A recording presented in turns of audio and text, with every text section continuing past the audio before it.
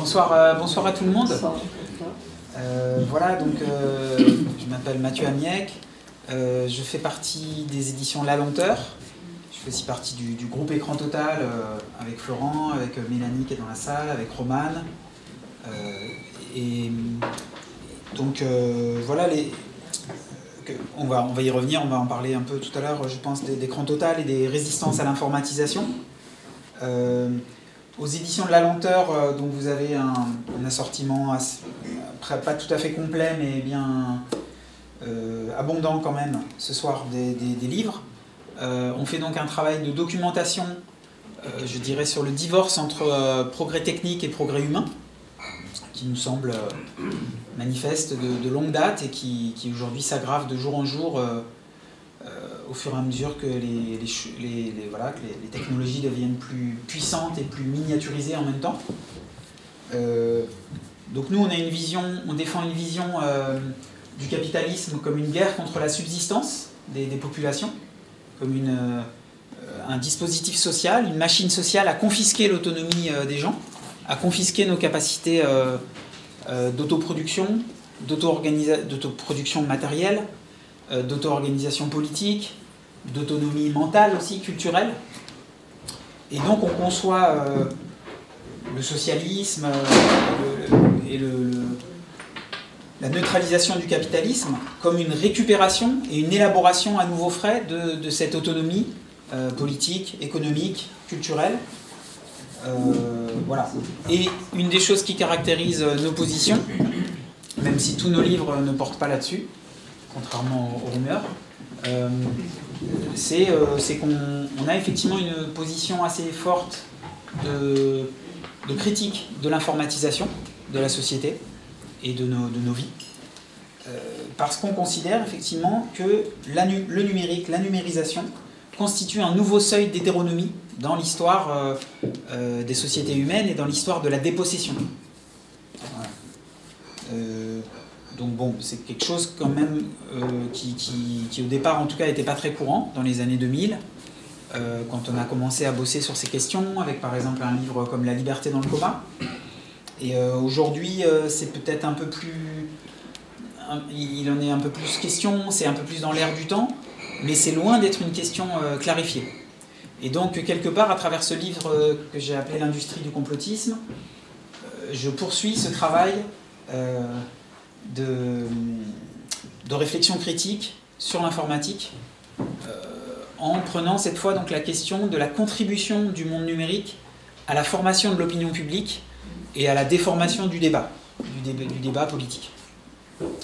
Euh, la source de ce bouquin-là, euh, la source émotionnelle, hein, c'est le malaise que j'ai ressenti, comme beaucoup de gens, et à, différents titres sans doute, mais le malaise que j'ai ressenti pendant la séquence du Covid, euh, devant à la fois, euh, disons, la version officielle des faits, euh, mais aussi devant les fractures, effectivement, les, fractures d'opinion, les fractures dans l'opinion, les fractures dans la société, les fractures jusqu'au sein des, familles, des groupes d'amis, jusqu'au sein des groupes politiques et des milieux critiques du capitalisme qui se sont parfois complètement déchirés autour de, simplement de l'établissement des faits, en fait, de, comprendre ensemble ce qui se passait et puis ensuite voilà, des comportements qu'il qui était plus ou moins pertinent d'adopter.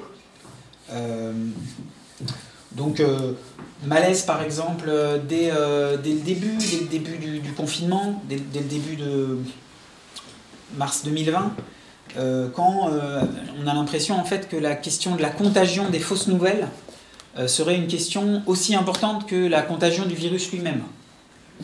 Voilà, c'était quand même relativement étrange. Tout de suite, une dramatisation de la question justement euh, du respect ou non du discours gouvernemental, du discours de l'OMS. Euh, voilà. Et puis, évidemment, assez vite, le constat que certaines choses qui sont annoncées euh, de manière extrêmement catégorique comme des fausses nouvelles, en fait, s'avèrent vraies, partiellement ou totalement. Donc je pense évidemment à la question du, fait qu'un certain nombre de scientifiques et de journalistes euh, estime urgent, même en février, même pas en mars 2020, mais en février, de, dire, de faire barrage immédiatement à toute idée que le, coronavirus nouveau euh, puisse être sorti d'un laboratoire de biotechnologie, et que finalement, bon, euh, voilà, à partir d'avril, mai, bah, un certain nombre de, groupes, d'enquêteurs commencent à, avoir des, éléments un peu, un peu consistants pour dire que c'est une hypothèse à prendre tout à fait au sérieux. Et que deux ans plus tard, ça devient en fait l'hypothèse la plus communément partagée finalement. Donc il y, a quelque chose évidemment d'assez choquant là-dedans. on, a, le droit de changer d'avis, bien sûr, mais là c'est la question du coup de, quand on change de manière aussi catégorique et sans jamais tirer des leçons de ce qui s'est passé avant. Euh, et, où donc on voit émerger un discours, euh, euh, déjà ça met en lumière pour la première fois de, manière si nette des acteurs dont le rôle officiel c'est d'être anti-complotistes, c'est d'être des, démineurs de complot, donc autour notamment du site Conspiracy Watch, et des gens qui tiennent un discours qu'il faut rééduquer le public, ou en tout cas une partie du public, à l'usage d'Internet. Donc, et qui, qui, apportent quand même des, analyses et des éléments intéressants euh, qui devrait conduire à une critique d'Internet, en fait, sur euh, la formation des esprits et la déformation des esprits. Mais euh, c'est pas leur but. Eux, il n'y a pas du tout de remise en cause de la société numérique, du fait de, que tout le monde passe de plus en plus de temps à chercher des infos comme ça et à les recevoir comme ça. Mais c'est plutôt, plutôt le fait voilà, qu'il faudrait faire une, créer une éducation au numérique, une éducation aux réseaux sociaux, il faut réguler tout ça. Donc vas-y. Non, moi je vais juste revenir un peu en arrière, mais ouais. le, je, moi je, suis euh, très réfractaire dans le numérique, tout ça. Ouais. Euh, D'ailleurs pas de smartphone.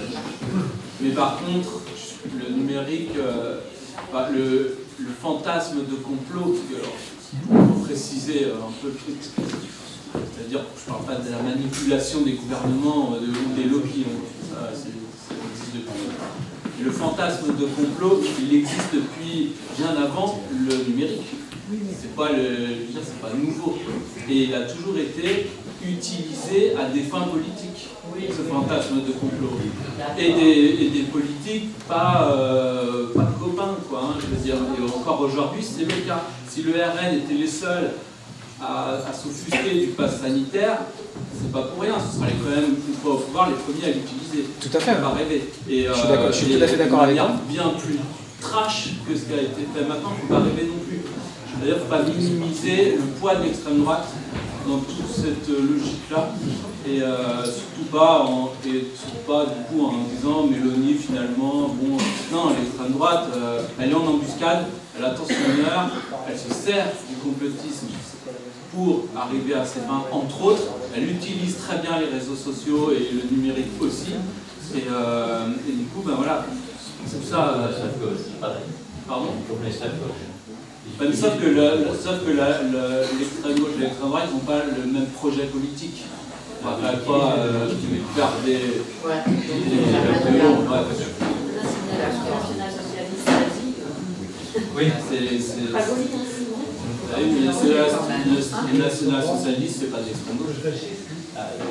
Pas.